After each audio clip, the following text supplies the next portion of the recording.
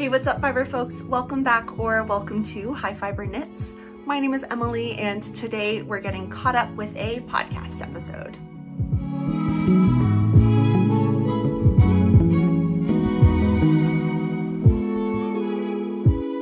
So if you follow me on Instagram at High Fiber Knits, uh, you may have seen that my family recently lost my nonna.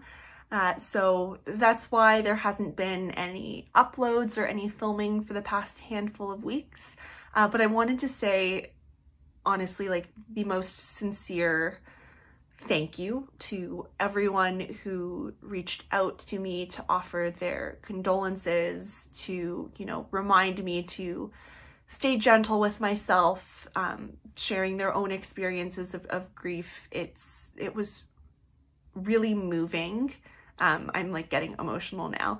It was really just so beautiful to, to see the community come stand behind me and, you know, remind me that it's okay to be gentle with myself. It's okay to not like be productive all the time um, and to sort of let myself experience this sort of season of my life as as it is and, and not feel like I, I need to experience it any certain way or or do any specific kinds of things and you know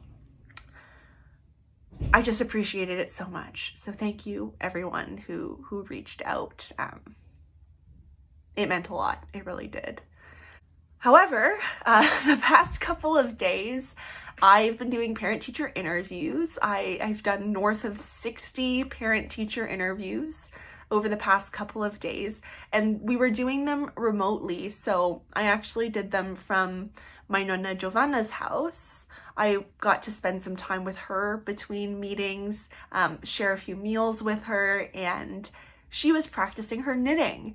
So it was really nice to just sit with her and, and knit for a little bit over the past couple of days. And, you know, as we were, as we were chatting, like my, my soul really like I really needed that. Um, but as we were chatting, I, I started, you know, thinking about new video ideas for the rest of the fall and winter, um, and, and just starting to feel really excited again about filming. So pretty much as soon as I finished my last interview today, I, I thought, you know what, I'm just gonna sit down and, and film. I don't care if it's not the most organized podcast ever, um, but I, I think it would just feel good to check in with myself on how my knitting's going, let you see what I've been up to. I've got some finished objects, I've got some works in progress, lots of works in progress, I feel like, uh, and some acquisitions. So thank you for your support so much thank you so much. Um, like knitting as a whole has really taught me how to slow down and have patience and and give myself grace. So just thank you. I like I don't even know what else to say. Um, honestly. so we're just gonna jump right into it. The first finished object is something I'm really excited to share with you because it's a pattern that I've wanted to knit for so long. Uh, and it's my Easy Headband by Sari Nordlund. Now I've wanted to knit this pattern for so long, but it's essentially just a stockinette tube. Sounds simple enough, right? However, it starts with a provisional cast on. You knit your tube, you make your little Mobius twist here, and then you stitch it together at the end. But I have tried to cast this on about a half dozen times. I have attempted all the provisional cast on methods I can find. My preferred method of provisional cast on is a crochet chain um, for like camisoles and things like that where you do the straps last. That's how I cast those on. However, because this was a larger number of stitches, I kept twisting my crochet chain. I just couldn't get the cast on right. So I was like, you know what? Whatever. I just ended up doing a loose long tail cast on and then a loose bind off in pattern at the end. And then I mattress stitched the two edges together. So you can see that, you know, this inside here, there's a yarn end, not super tidy. That was sort of the first half of the mattress stitch that I worked on. But this more external side, I think, or the side I've chosen to be the outside of the tube, I think looks a lot neater, a lot tidier. Um, I'm actually quite impressed with how well this grafting turned out.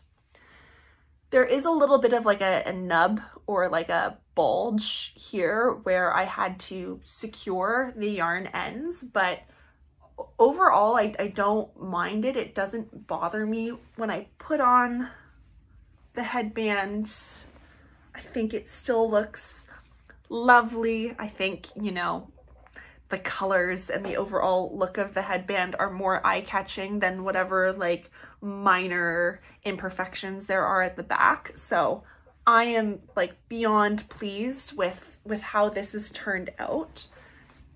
Aside from my issues with the cast on, like I said, it was a really easy knit because it was just a stockinette tube. But what made this so special for me was the yarn combo that I worked in. So the main yarn for this is Magpie Fibers Swanky Sock in the colorway Voices Carry. So this is a four ply fingering weight, fingering weight base. It's a sock yarn, merino, nylon, cashmere. Uh, and this was my little birthday treat to myself. And I'm obsessed with this colorway because it's got just this perfect balance of moodiness with sort of the tone of the green and the speckling in the black and the toffee and the sort of ochre colors, but it still has this beautiful glow to it. I don't know how, I don't know why, I can't explain it, but but this yarn I've been drawn to for so long. Um, and so I treated myself to it for my 24th birthday and I knew I wanted it to be something special. I do have enough left of this to make a pair of socks, but I'm undecided on whether it will become socks or um, if I want to do a pair of mitts to go with this or maybe a Sophie scarf to go with this. Undecided, but I do have like 75 grams or something like that left of this. This really did not use that might be a boost. Maybe it's like 70 grams. Um, but I really didn't use much for this. The mohair that I've paired it with is one of my favorite mohairs. This is the Gepard Garn Kid Seta in the color 880, might be 088. Um, and it's like this seafoam green, emerald, not quite forest green, uh, but I thought that it would pair really beautifully with the tones in the Magpie fibers. A couple of the reasons I really like the Gepard Garn Kid Seta, well, there's actually several reasons. It's very comparable to the Knitting for Olive soft silk mohair uh, in terms of the color range that is available. But what sets it apart, in my opinion, from the Knitting for Olive is one, the price. It's about $3 cheaper, two, $3 cheaper per ball, uh, where I can purchase these yarns um, to get the kid Kidsetta over the soft silk mohair. And another reason I really like the Gepard Garn Kid Seta um, compared to the soft silk mohair from Knitting for Olive is I think there is a noticeable difference in how shiny and lustrous this silk mohair is over the Knitting for Olive one. I mean, the Knitting for Olive still has some shine, but I feel like this is just unmatched. Um, and I have found that that's consistent across the colorways for both of these yarns as well. So for something like, like a sweater, you know, maybe the, the shine, the luster isn't as important, but I think, you know, the pairing of this yarn with the magpie fibers, you really get that, that glowing look I'm completely and totally obsessed with. So super pleased with this yarn combo and how this turned out. I did knit this with magic loop on three millimeter needles. So it is a bit more of a dense fabric. I think the pattern, no, the pattern did call for three millimeter needles. Never mind, ignore me. Three millimeter needles, magic loop. I used my ChiaoGoo fixed circulars for this. So really thrilled with how this has turned out. I think a matching pair of mitts would be absolutely wonderful. I just haven't decided yet if I want a mohair mitt or if I want to just hold the Magpie Fibers double and, and call it a day. We'll see. TBD. Next finished object is another one I've shown you before. Uh, this is an unblocked rose stitch dish towel. This is a free pattern by Purl Soho and it features this really beautiful, this really beautiful stitch. Now this stitch is created by uh, alternating rows of knits and purls uh, and knits and knits through the back loop. So this knit I really enjoyed because it was mindless enough that I could take it on the TTC and small enough that I could take it on the TTC. Uh, but there's also just a little more interest to it than basic stockinette stitch. I knit this out of yarn that was gifted to me from Hobbii for their Friends challenge on Instagram last month. So this is the Friends Cotton, which is 100% uh, cotton yarn uh, and this is in the colorway Oat Milk.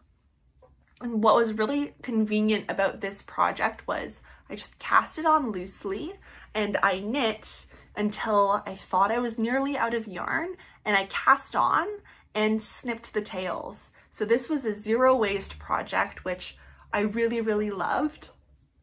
And I really enjoyed working with this yarn as well. The weight of the yarn is not quite fingering, not quite DK. I do think it's more in that sport weight range. And I did knit this on a three millimeter needle. So it does have a nice drape to it. Again, it, it's warped because it's not blocked, but you can imagine it'll, it'll grow quite a bit.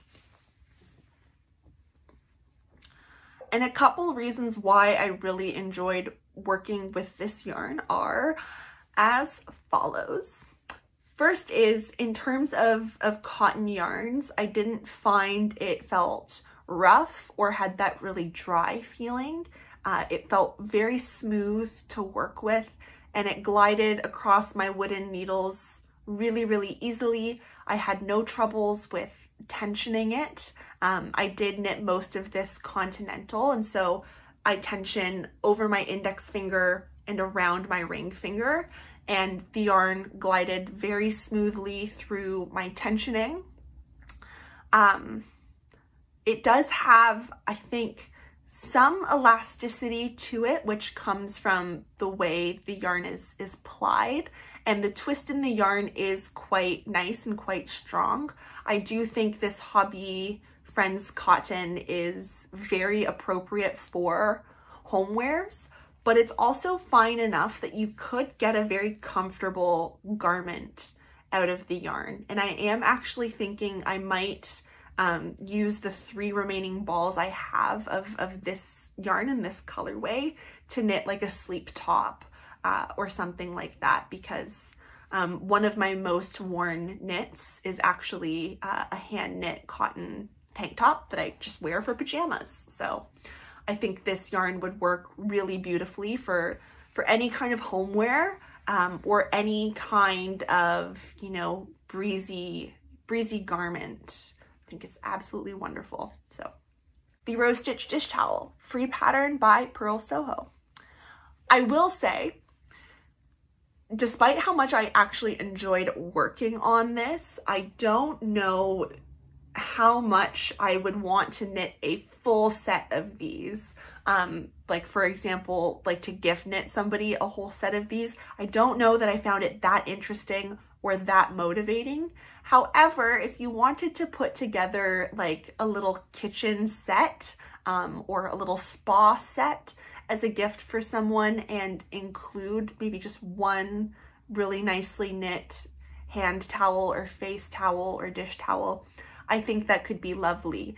Um, as I said, I do have a handful of balls of this yarn left, um, but it was a lot of knitting. And, and at this point, I, I don't quite feel like doing more of them. So, so I'll hang on to it and I'll see what I do with the yarn. Um, but I very much enjoyed it. Uh, maybe I'll do more dish towels, just a different stitch to keep it interesting. Who knows? But this was this was fun, a little something different for me. I liked it very much. The next thing I'd like to show you is a little bit of a two for one special. Uh, in my last podcast episode, I showed you this, which is the also free pattern from Purl Soho. This is their arched gusset mitten. And this one looks huge because I knit it for my boyfriend Adam. He wants a pair of mitts for the winter time. And so this is the adult large in Knitting for Olive Merino and Soft Silk Mohair, the colorway Brown Bear. So I'm working on the second mitten for, for Adam on double pointed needles and, and I'm about to start the, the gusset. It is a dark color, so it's a little hard to show. But the new thing I'd like to show you is my second version of the mitten. So this is the same free pattern by Purl Soho, the arched gusset mitten with a good handful of modifications. First modification is gauge. I went down to a 3.25 millimeter needle for this mitten to get just a more dense fabric. It's of course a different size for my hand than Adam's hand um, and a bit more of a snug fit because it is fingerless. I don't want it to be like flopping around in this area. Um, it's okay to have a bit more room in a closed mitten, I think. So that's one modification. And the other really obvious modification is that I've knit this to be fingerless. So this really, the only difference or the only thing that I had to do to make the modification was stop knitting and bind off loosely. I just did a long tail cast on loosely and a bind off in pattern loosely and I think it turned out really nice and clean. I was saying in my previous podcast episode um, that I don't know, I didn't know how much I would trust this edge to not roll, but this is unblocked and I think it looks quite good. So I'm really pleased about that. And this particular mitten, I am knitting in more of the Hobbii's Friends yarns. So this is Hobbii Friends Fine Merino and Kid Silk in the colorway light gray. So here are the yarns here are the yarns. Um, and you can see that, you know, this fine merino is really, really plump. It's super, super plush. I mean, compare it to a roughly equivalent sized ball of the Knitting for Olive merino. This stuff has certainly um, a thickness or a plumpness to it that you don't see in, in the Knitting for Olive merino as much. So this is a really excellent and very affordable substitution for that Knitting for Olive yarn in my opinion.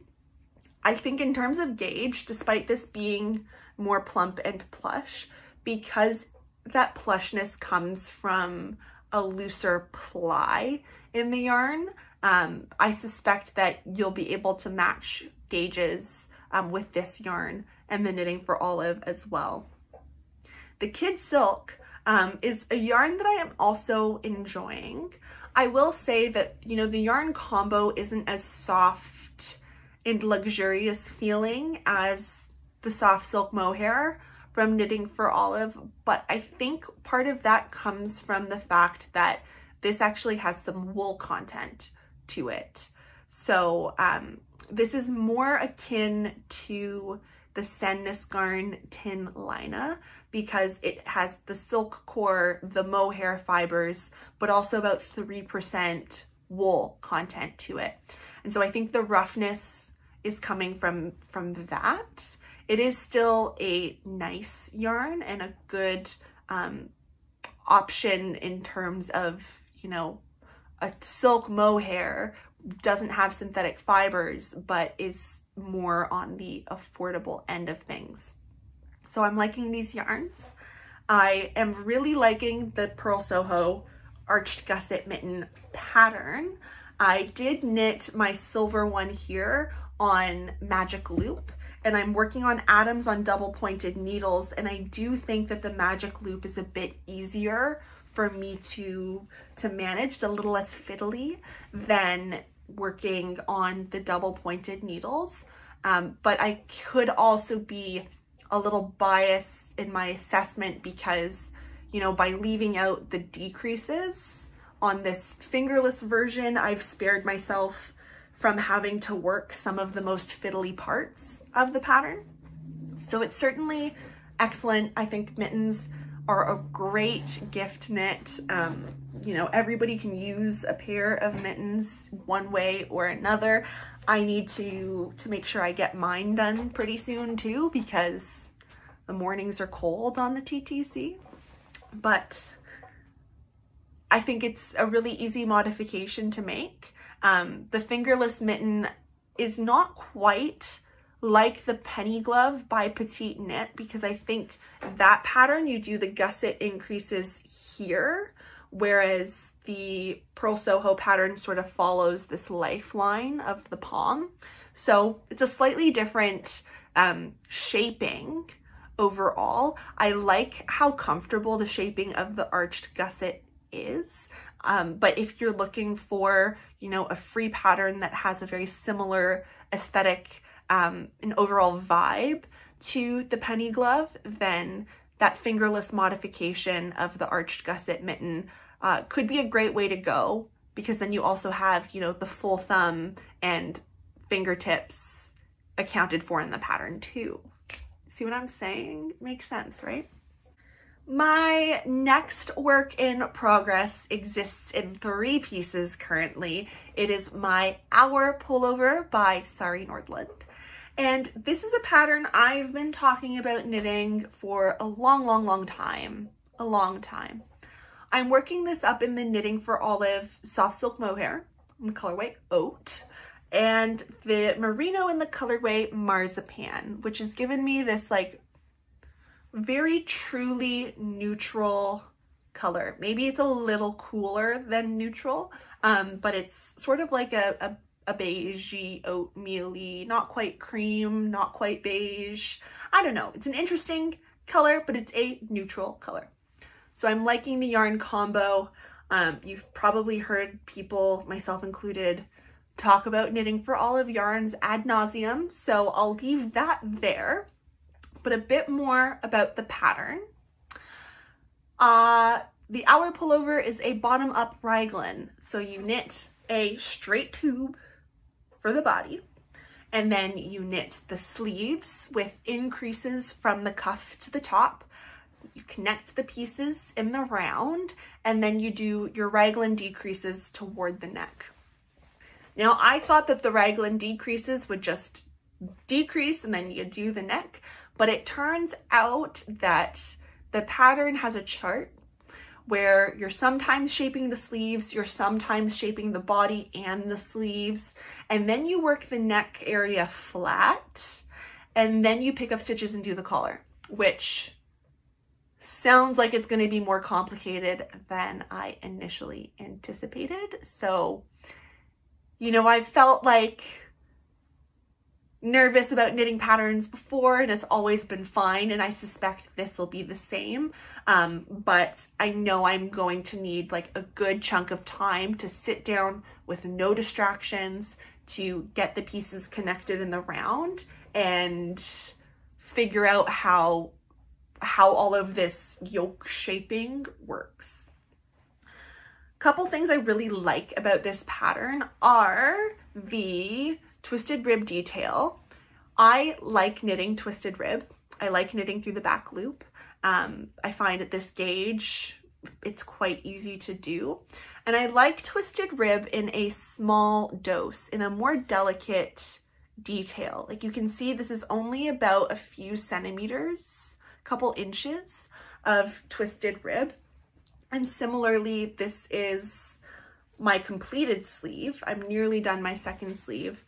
Um, this is a relatively modest ribbed cuff, in my opinion. I don't like twisted rib in sweaters where it's like a cuff that comes nearly to the elbow or when it's a folded collar that's like 14 inches long. I'm not so much of a fan of twisted rib in that case.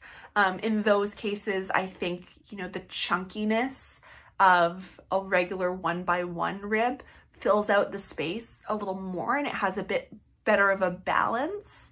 I think when just twisted rib is too long, it looks more like stripes or like corrugated cardboard um, than real ribbing, if that makes any sense.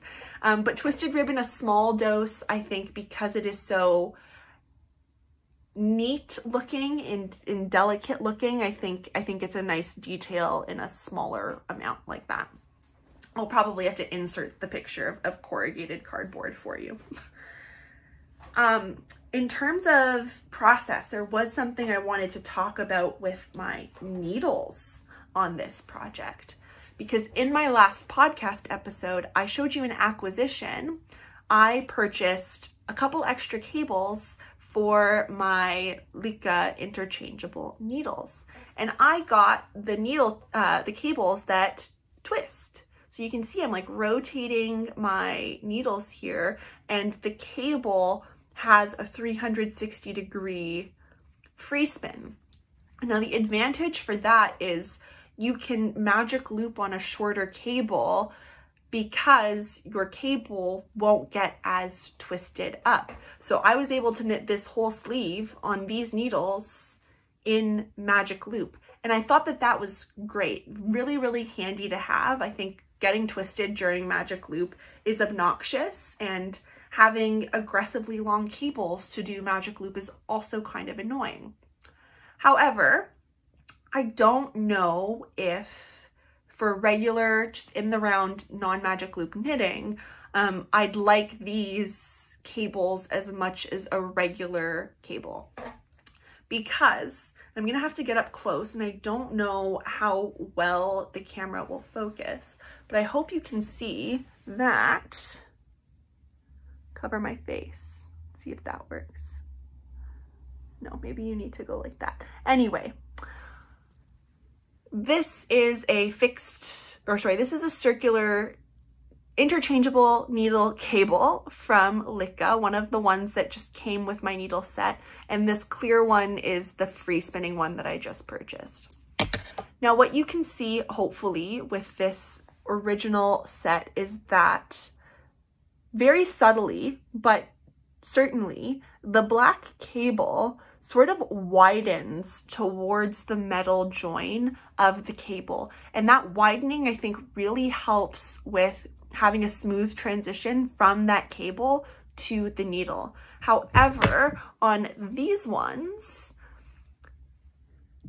because this is like a larger metal piece, I don't know why, but what they've done here is they've just inserted the clear portion of the cable straight into the metal bit. And so it's not as smooth of a transition. I found that while working even in Magic Loop, my stitches were getting caught um, on that sort of portion of the needle.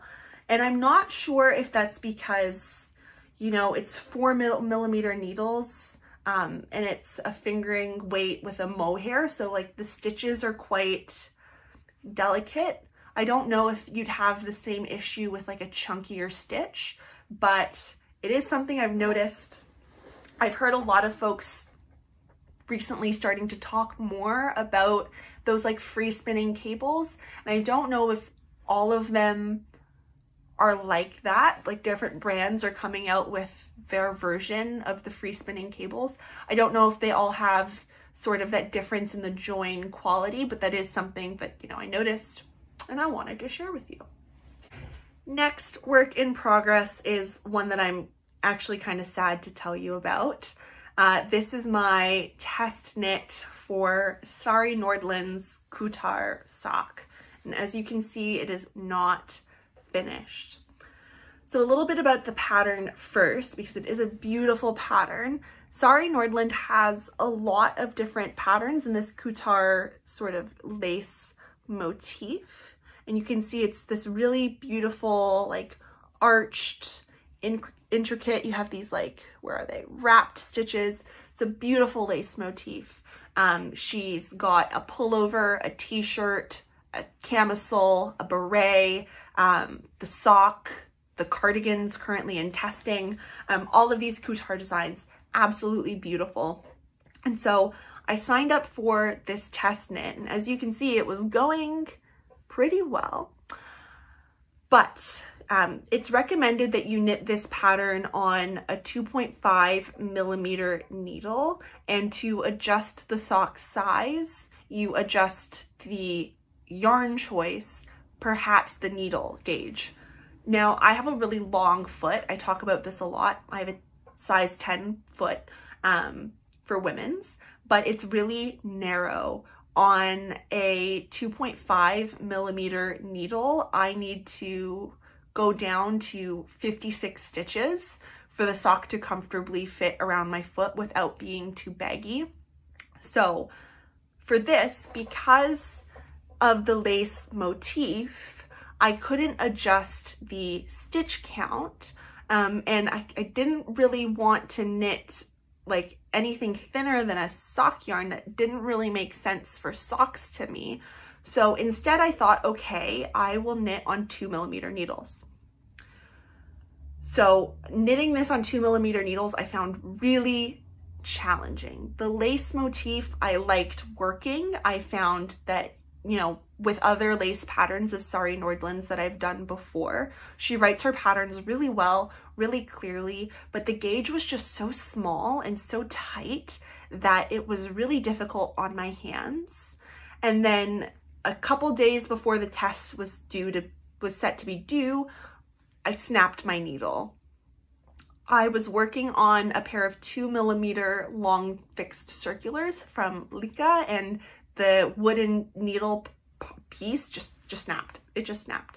So I couldn't finish the sock in time for the deadline. And then I did order um, replacement needles, but by the time those needles came and I could have continued working on the sock, um, that was when, you know, my nonna became very ill and, you know, I just didn't have the mental capacity or the motivation to work on on a sock of this intensity anymore. And honestly, at this point with, with the gauge that I've had to knit at, um, I can't quite fathom doing a second entire sock um, you know, you see a lace yoke and you're like, wow, that looks like a lot of knitting.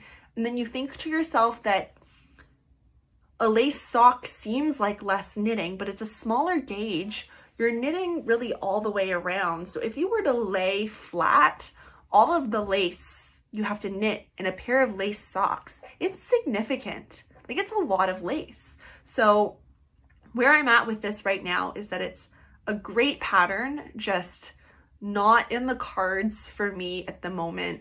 So I am to frog this and repurpose the yarn.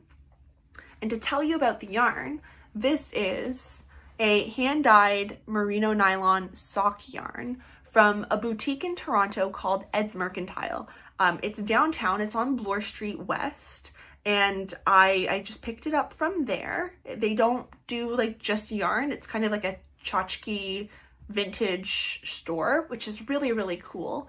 Um, but a couple days after my last podcast episode went live, where I showed this yarn for the first time, um, I got a DM from Ed's Mercantile, and they were saying that somebody had gone in to, to purchase yarn from them upon my recommendation, which was really neat. So shout out to whoever that was. That's really cool. So this yarn has been really nice to work with a beautiful tonal peach color, kind of like mild variegation. I'm really liking the color a lot and it looks so beautiful with this lace motif. It really, really does.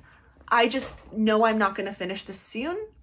And even if I were to finish this sock, I have zero desire to do a whole second one. And it makes even less sense to have one unfinished sock than it makes sense to have one finished sock and no second sock right? So like, what am I going to do with it? I'd rather just like use the yarn for a pair of vanilla socks. And if I feel like revisiting the Kuutar sock again in the future, I'll get different yarn for it. So my last work in progress has a little bit of a story tied to it. Um, you may know that I went to an arts high school for dance. Uh, and in the six years that I went to that school, we put on the Nutcracker three times. And you know, the rehearsals and spending time with my friends and my teachers and just the ballet itself uh, really are associated with some core memories for me and some of like the most some most of the magic of the holiday season for me comes from you know the nostalgia around those memories and things like that. So recently when I was on Instagram I saw an ad for the National Ballet's performances of the Nutcracker. Uh, they perform about two dozen shows at the Four Seasons in Toronto every every winter, um, but I've never seen the National Ballet's Nutcracker, or maybe I did just such a long time ago when I was a really young kid, and so um, I just I, I don't remember it. So as soon as I saw that ad, I, I told Adam, I was like, we're going to see that. And he was like, that's crazy. We can't pay $500 a person to go see the ballet. And I was like, okay, it's not that expensive. Um, and it's not that expensive. And he was like, oh, okay, then absolutely, let's go. Um, so I booked us tickets to see the Nutcracker between Christmas, which our families celebrate, uh, and, and New Year's. So we'll have something to do in that weird random limbo week. But anyway, um, the ad in particular for the National Ballet's Nutcracker uh, was about the snow scene in the ballet, which is at the end of Act One. And snow is one of my most favorite scenes in the Nutcracker. Um, it was one of the ones that I performed the last year that I was in the Nutcracker. I did snow and I did marzipan, um, and I was a parent that year in like the party scene. But anyway, um, I really love snow. The costumes are just glittery and fluffy and white and snow falls from the ceiling and it's a really long piece too. It's like over seven minutes long. So it's, um, it, it kicks your butt when you're, when you're doing the dancing. Um, and so I, I have so much respect for the dancers who do snow scene. Um, but just seeing the ad and seeing the snow and seeing the tutu and the tiara, I was just really captivated by the magic of snow scene and the magic of the nutcracker. And it got me thinking about, you know, just wanting to embrace that feeling of ma magic and that feeling of nostalgia. Uh, and I started thinking about knitting home decor, snowing, snowy home decor for the winter time. Now, I'm not like one of those people who gets like a aggressively holiday Christmas mode as soon as Halloween is over, but I do like to indulge in festivities sooner rather than later. Um, to put it into context, I have had my caramel brulee latte from Starbucks, but I have not put on Michael Bublé yet if that helps provide any context. And no tea, no shade who, to anybody who is already bumping Mariah Carey or Michael Bublé. Please do and please enjoy it. I'm easing into it. Part of me easing into it is thinking about how I want to decorate this year. I do have like a mini Christmas tree that I put up in my room that I've had for the past couple of years. Um, and I have these like really lovely silvery star ornaments um, and bulbs that I put on that mini tree. But I thought it would be sweet to have a couple little knitted home decor items to add to my space. So I started looking on Ravelry for tree patterns, like little 3D winter tree, spruce tree, juniper tree vibe.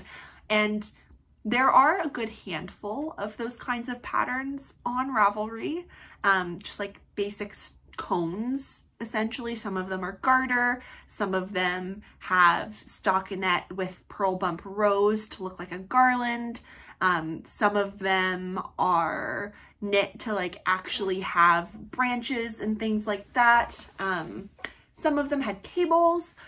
There weren't really any that had that like fluffy, snowy, ethereal, magical vibe that I, I, I really wanted. So I thought to myself, I would just make my own, work up a random pattern, see what happens. So I pulled some yarns out of my stash to get started um, and really wanting to capture that like silvery magical magical vibe.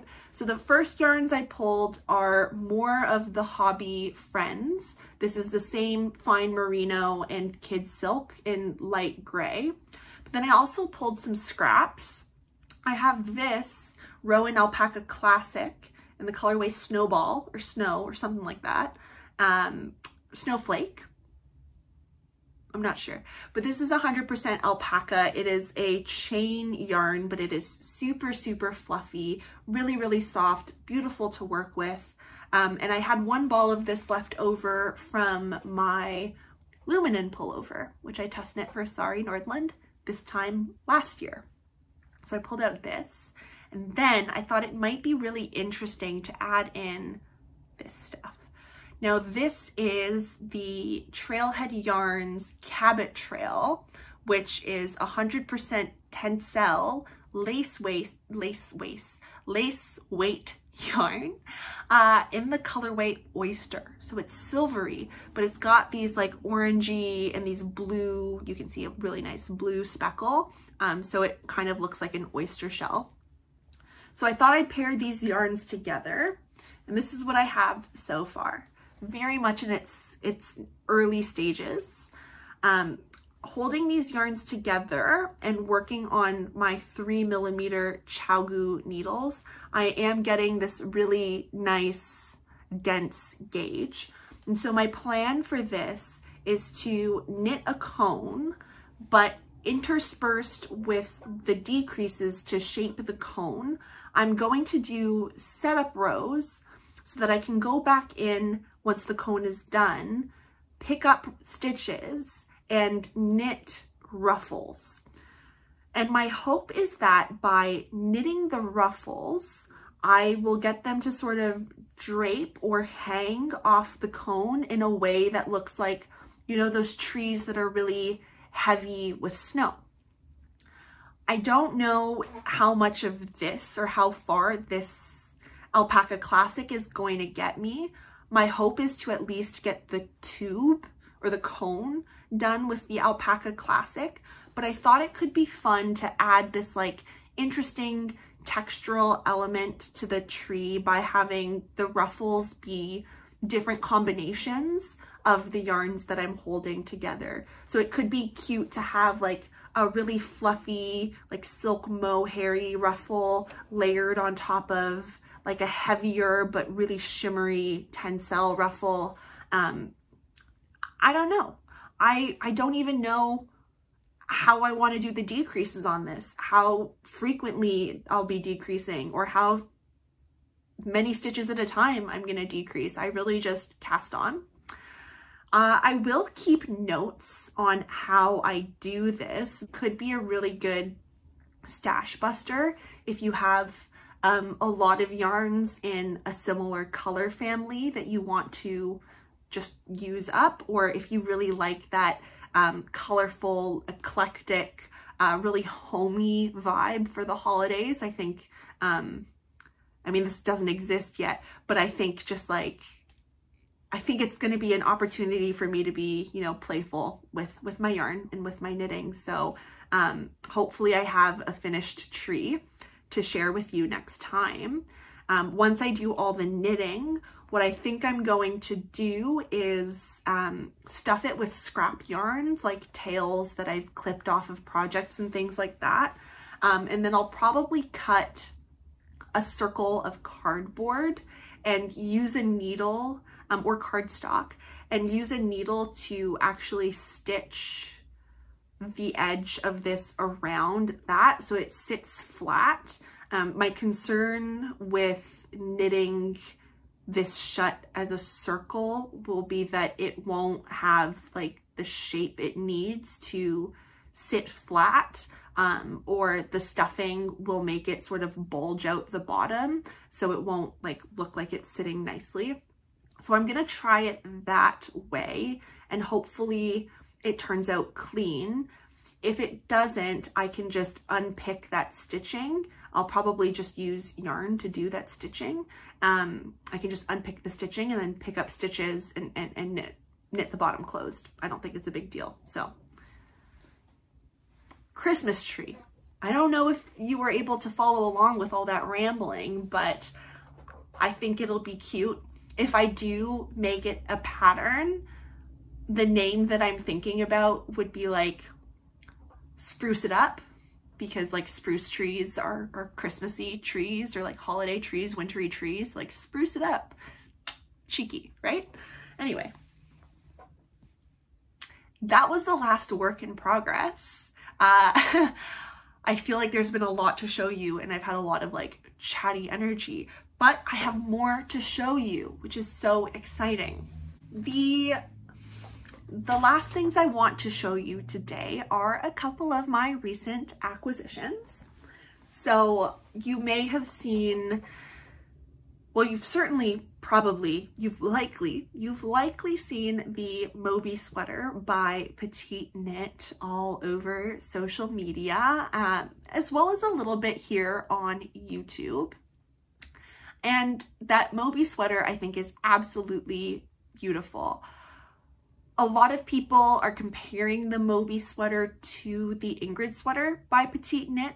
I personally prefer the look of the Moby sweater a bit more because I think it has a bit more of like a, a classic look to it than the, the Ingrid sweater. So I thought it would be a nice challenging knit for me. Um, one of the reasons I don't like cable knits usually is that I find they can look um, a bit stuffy, but I really like the silhouette and the construction of, of the Moby sweater. I think in the right fibers at the right gauge, it can have a nice modern look to it while still maintaining that like classic cable knit essence. So I started looking around at, you know, color yarn fiber options for that sweater. And I saw Florence from Handmade by Florence um, upload her podcast where she shows uh, the version of the sweater she knit in Peer Gynt from Sandnes Garn. Now the Peer Gynt is a yarn that Petite Knit has used in a few patterns. Um, I know it was used in her Louvre sweater, um, but a lot of the knitters who have knit that sweater, the Moby sweater, in that yarn, um, or even other yarns, including Florence, have said that the pattern knits up small. Now, I don't know if, if that's like people not checking their gauge or petite knit knitting really loosely or um, I don't know what the deal with that is, but I thought that if I was going to knit the Moby sweater, knowing how I already feel about cable knit sweaters, I would want to do it in a mohair free yarn because you know sometimes with mohair sweaters or sweaters containing mohair um, they're not as wearable as other sweaters. If, you know, it's a light colored mohair and you're wearing dark pants, you'll see the mohair on the pants um, or, you know, it just may not be cold enough to warrant a sweater with mohair. I personally like to have like tank tops layered underneath sweaters, not full long sleeve or t-shirts underneath sweaters. So, so I thought that, you know, doing the sweater in a yarn without mohair would make me more likely to wear the sweater, is what I'm trying to say. And I thought that if that was going to be the case, why not just pick a yarn that is worsted weight, So by going up yarn gauge and probably also up in needles, then hopefully I can adjust for or correct for um, the fact that the pattern knits up small. And I also ordered yarn to be able to knit a large um, as opposed to a medium, which is my typical size for petite knit patterns. Um, my sizing information is in the description box down below. I'll try to only mention the sizes of patterns I knit in the videos, but if you want more details um, on my measurements, that's in the description. So I ordered yarn, worsted weight, enough to get a large, and the yarn that I picked is the, drumroll please, because I've belabored the point for so long, Simply Wool Worsted from Knit Picks.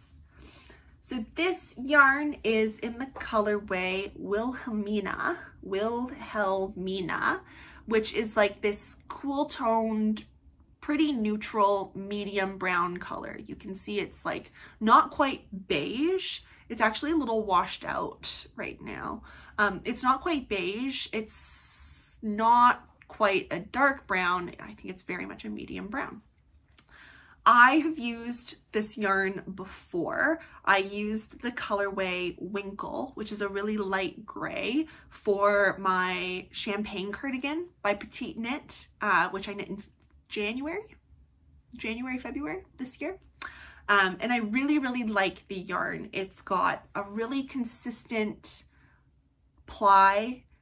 It is really easy to work with. It's just the right amount for me of like rustic and soft. It has good toothiness to it. So I feel that, you know, a nice plump worsted weight, tightly plied yarn um, would hold up well with the cables and the textured stitches in the Moby sweater, but it also has just enough, you know, fluff to it. It's not as, um, it's got a little bit more texture to it than a superwash merino. Um, so I think it will still have uh, a nice kind of fluffed look for, for the Moby sweater without the mohair.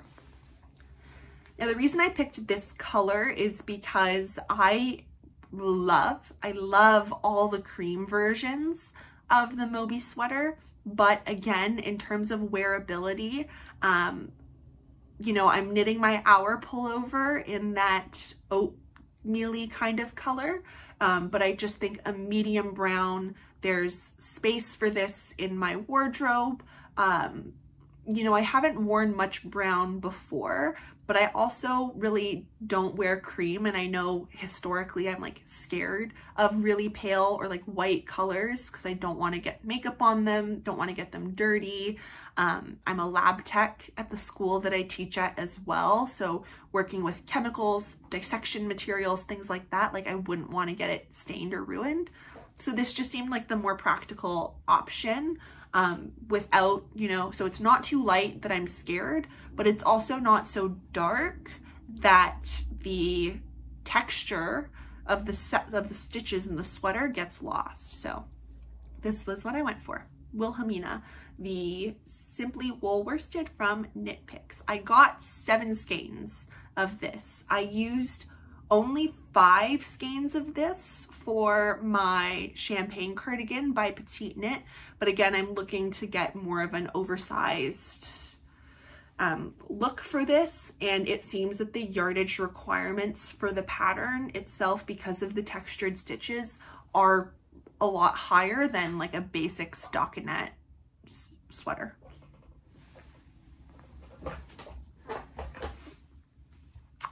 And then to get free shipping from Knit Picks, I wanted to pick up some sock yarn. Um, and so as I've told you, I am 10 out of 10, 11 out of 10 obsessed with this Magpie Fibers swanky sock in the colorway Voices Carry. And I found a yarn on Knit Picks that has a very similar vibe to, to this yarn. So let's take a look, shall we? This is Stroll Tweed fingering weight. So this yarn is a 65% superwash merino, 25% nylon, 10% Donegal tweed, and in the 50 gram ball, you get 231 yards. So this is a light fingering weight or sock yarn. And this is in the colorway Lost Lake Heather.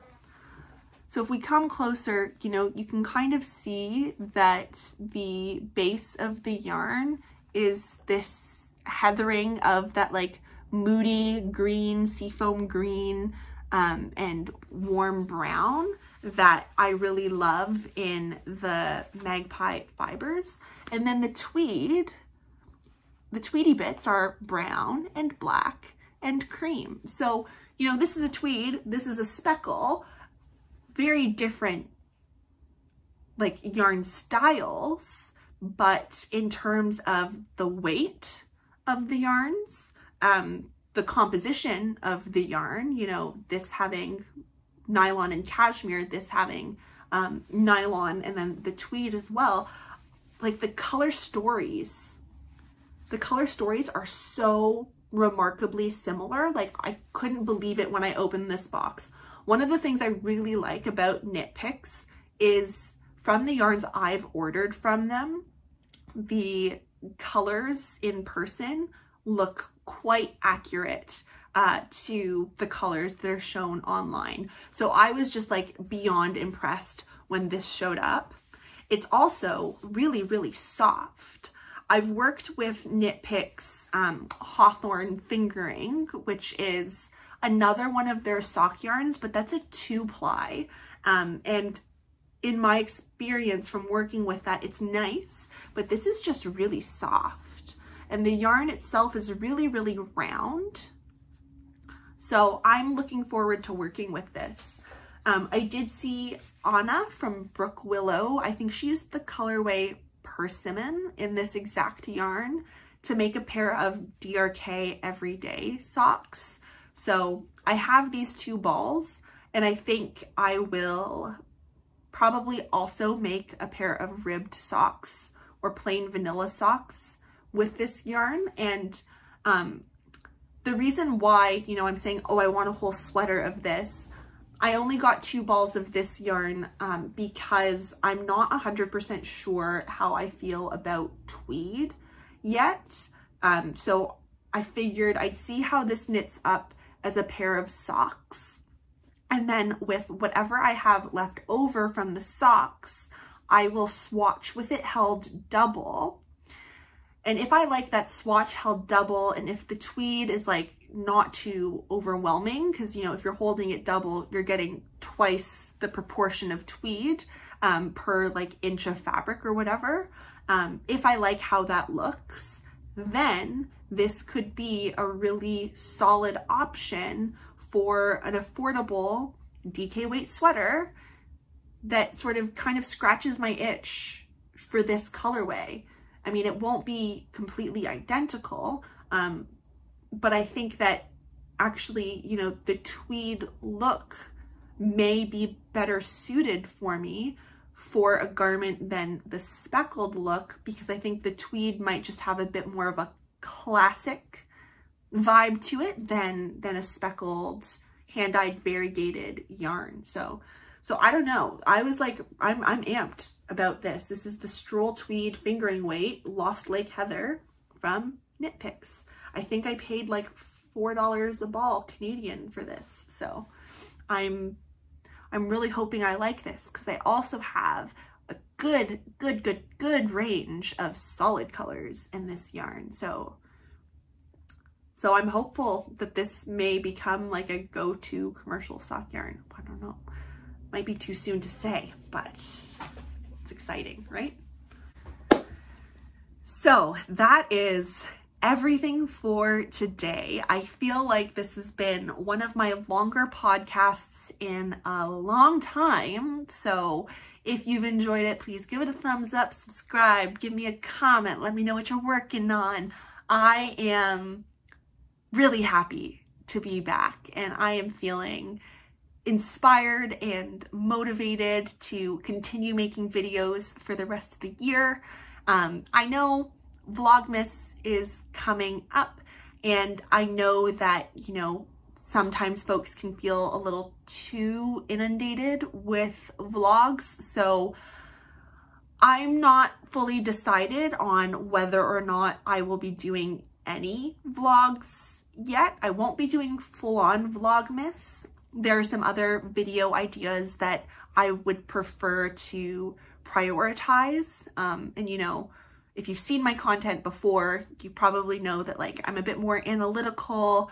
Um, I like to, you know, talk about my reflections on knitting a lot. And so there are some video ideas that are, are more true to true to that, um, that I want to explore over vlogs.